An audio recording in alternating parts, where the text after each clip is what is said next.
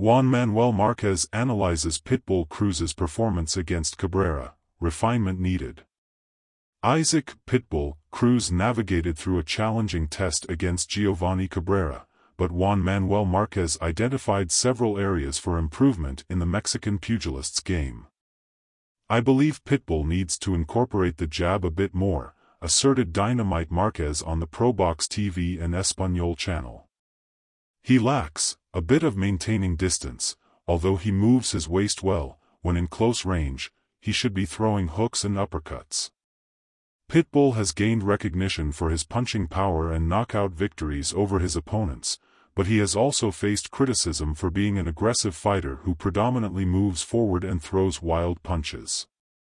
A similar pattern emerged in the fight against Giovanni Cabrera, where Pitbull Cruz faced a taller opponent who effectively utilized distance, making it a challenge for him. He throws a lot of wild punches, which his opponent, in this case Cabrera, sidesteps and distances himself from Pitbull, added Dynamite Marquez. The punches ended up in thin air.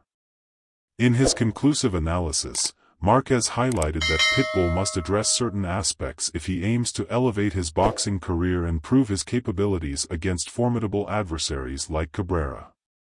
I believe this is what Pitbull Cruz needs to work on and improve to become a better boxer, capable of facing opponents of this particular style, the taller style that utilizes distance, affirmed Marquez. There was a significant gap in Pitbull Cruz's game that he needed to address to leave a mark on someone like Cabrera. Do you agree with Marquez's opinion? Don't miss the debate.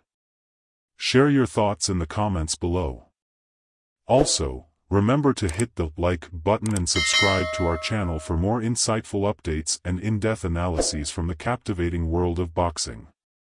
Stay tuned, activate the notification bell, and become part of our passionate boxing community. Thank you for being a part of this exhilarating boxing journey with us.